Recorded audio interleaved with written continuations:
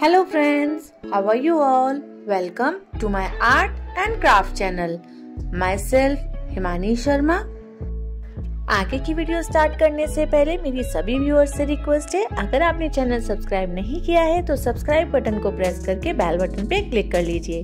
Let's start our video आज के topic में हम स्टिल लाइफ बनाने वाले हैं।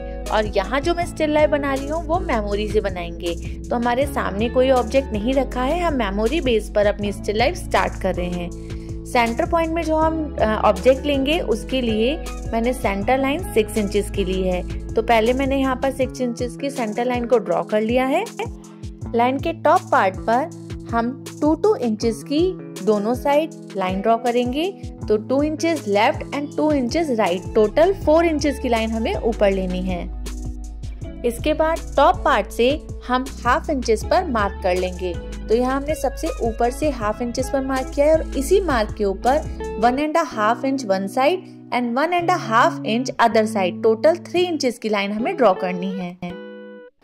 इसके बाद सेंटर लाइन पे सबसे ऊपर वाले पॉइंट से ही टू इंचेस पर थ्री इंचेस पर और फोर इंचेस पर हम एक एक मार्क कर लेंगे। तो यहाँ पर हमने टू इंचेस पे मार्क किया है, फिर थ्री पे और फिर फोर पे।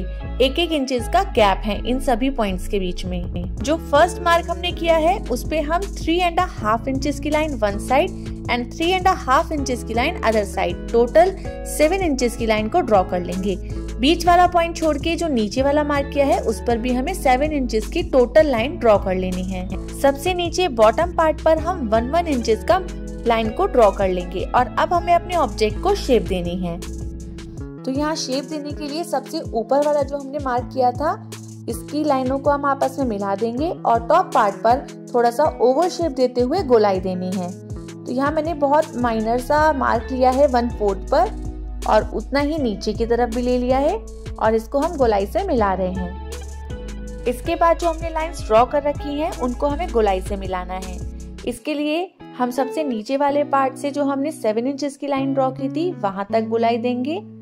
फिर इस गोलाई को स्ट्रेटली ड्रॉ करेंगे और फिर ऊपर वाले पार्ट को गोलाई से मिला देंगे। इसी प्रोसेस से हमें दूसरी साइड भी अपने ऑब्जेक्ट की गोलाई देनी है।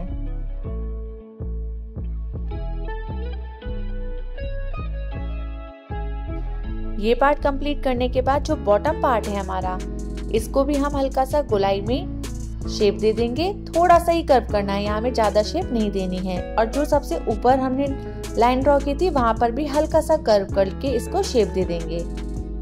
फ़र्स्ट ऑब्जेक्ट हमारा कंप्लीट हो गया है। इसकी जितनी भी मार्जिन लाइंस हमने ड्रॉ की थी, उसको हमें इरेज कर देना है। फ़र्स्ट ऑब्जेक्ट कंप्लीट करने के बाद हम सेकेंड ऑब्जेक्ट बनाएँगे, जिसके लिए हमने फ़र्स्ट ऑब्जेक्ट के आगे साइड पार्ट पर 5 इंचेस की लाइन ड्रॉ की है। टॉप पार्ट पर हम जो मार्जिन ले रहे हैं, वो है one one inches both side तो टोटल हमारी टू इंचेस की लाइन हमें ड्रॉ करनी है। उसके बाद ऊपर पार्ट से वन एंड हाफ़ इंचेस पे मार्क करेंगे और फिर इस वन एंड हाफ़ इंचेस के मार्क से हम टू इंचेस पर मार्क कर लेंगे। और सबसे नीचे पार्ट पे हमारा हाफ़ इंचेस का मार्क हमारा ऑलरेडी हमें मिल गया है। अब हमें इस ऊपर वाले पार्ट पे थोड़ा सा कर्व देके टॉप पार्ट की शेप देनी होगी। हल्का सा इसको गुलाई देकर हम ओवर शेप ड्रॉ कर लेते हैं। इसके बाद जो हमने वन एंड हाफ़ इंचेस का मार्क लिया था, उस पर half half inches both side total one inches की लाइन ड्रॉ कर लेंगे। और जो उसके नीचे टू इंचेस वाली मार्क है, उस पर two two inches both side तो यहाँ पर हमने टोटल फोर इंचेस की लाइन ड्रॉ की। बॉटम से ऊपर जो हमारा हाफ़ इंचेस का मार्क है, वहाँ पे हमने half half inches both side यानी कि टोटल वन इंचेस की लाइन ली है। और इस लाइन के सबसे नीचे बॉटम पार्ट पर one one inches both side तो टोटल टू इंचेस की लाइन ड्रॉ करके हम अपने पूरे ऑब्जेक्ट को शेप देंगे। तो जो हमने मार्जिन लाइंस ड्रॉ की हैं, ऊपर की थ्री लाइंस को अंदर की तरफ़ कर्व करके हम शेप देंगे दोनों साइड से। और जो नीचे वाला पार्ट है, उसमें हम नीचे की साइड से गोलाई देंगे। तो यहाँ पर जो हमारा बड़ी वाली मार्जिन है, वहाँ से हम नीचे हाफ़ इंचेस वाले पॉइंट पर गोलाई से शेप दे देंगे। और लास्ट हम बॉटम को ड्रॉ कर लेंगे। तो यहाँ पर हमने इस ऑब्जेक्ट की तली बना ली है।